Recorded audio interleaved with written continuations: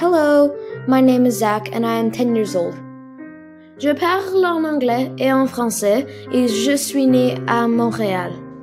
My friends and family are very important to me. One of my moms was born in Ontario and the other one was born in Quebec. To me, belonging means that other people in your community accept you.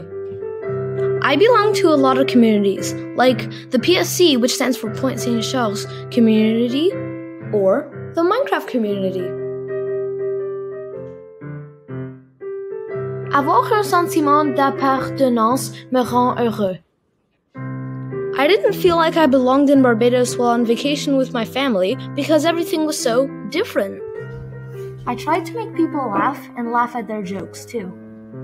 C'est une excellente façon d'aider les autres à se sentir acceptés. Another way to let people feel like they belong is that you can share with them what your community is like and see if they can relate. My favorite food is a burrito, but especially the the one that my moms make, which is made out of tortilla, chicken, guacamole, and cheese.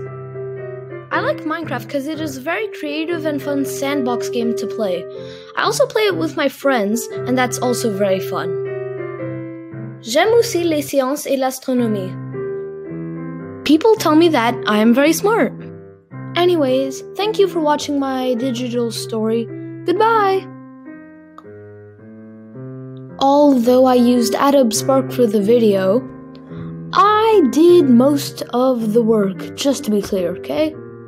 Goodbye!